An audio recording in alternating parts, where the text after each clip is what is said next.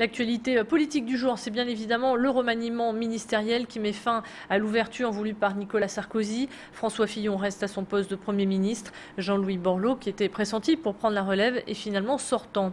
L'ancien maire de Valenciennes souhaite désormais se concentrer sur ses valeurs et rassemblera les centristes dès ce soir à Paris. Nathalie Kosciusko-Morizet le remplacera au ministère de l'écologie.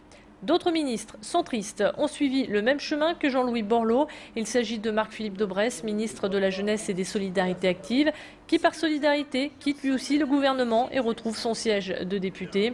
Il y a aussi Valérie Létard qui quitte son poste de secrétaire d'État au développement durable. Avec ces départs, eh il n'y a plus de nordistes au sein de l'Élysée. Écoutez à présent la réaction de Valérie Létard. Choix a été fait de garder euh, François Fillon à la tête du gouvernement.